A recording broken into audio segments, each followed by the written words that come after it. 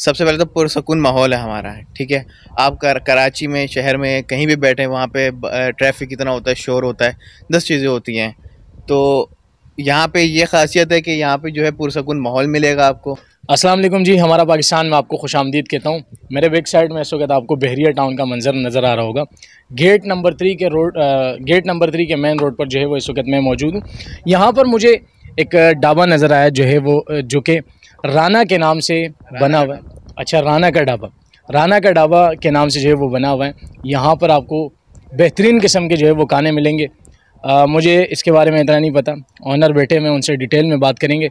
Sir सलामकुम मुझे ये बताएँ कि कराची की आवाम क्यों यहाँ यहाँ आए या आपको क्यों ओके करें? देखिए सबसे पहली चीज़ तो यहाँ पे जो हमारी स्पेशलिटी है सबसे पहले तो पुरसकून माहौल है हमारा ठीक है? आप कर, कराची में शहर में कहीं भी बैठे वहाँ पे ट्रैफ़िक कितना होता है शोर होता है दस चीज़ें होती हैं। तो यहाँ पे ये खासियत है कि यहाँ पे जो है पुरसकून माहौल मिलेगा आपको। और दूसरा जो है खाने की बात करें तो खाने में हमारे पास काफ़ी सारे आइटम्स हैं जिसमें हमारे पास कढ़ाई है हांडी है बारबेक्यू है। कढ़ाई में हमारे पास मोस्ट रनिंग जो चलती है हमारी स्पेशलिटी है राना स्पेशल के नाम से। तो राना स्पेशल कढ़ाई है और हांडी है बारबेक्यू है। बारबेक्यू में हमारे प्लेटर हैं बारबेक्यू प्लेटर जिसमें हमारे पास तिक्के होते हैं चरगे होते हैं हर तरह का आइटम होता है। बोटी हो गई कबाब हो गई ये सारी चीज़ें होती हैं। मतलब ए टू जेड जो खाने आपको शहर में मिलते हैं वो यहाँ बेहतरीन माहौल के साथ आपको मिलेंगे। हर चीज़ आपको मिलेगी। अच्छा ये जो अभी मैंने कढ़ाई टेस्ट की है बड़ी बेहतरीन। ये वो है हमारी मोस्ट रनिंग आइटम है राना स्पेशल कढ़ाई। मैंने सुना है कि कराची की आवाम ने आप लोगों के साथ जो है वो एक वादा किया है और हर हफ़्ते वो पूरा कराची की जो आवाम है उसका हमसे वादा होता है हर वीकेंड पे सैटरडे संडे को वो लाजमी यहाँ पहुँची होती है।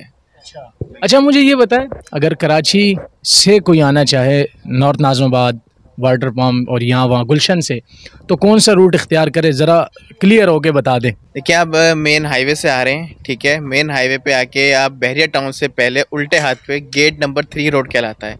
उस पर आपको स्ट्रेट आना है। वॉल को फॉलो करते हुए आप सीधा पहुँच जाएँगे यहाँ पे।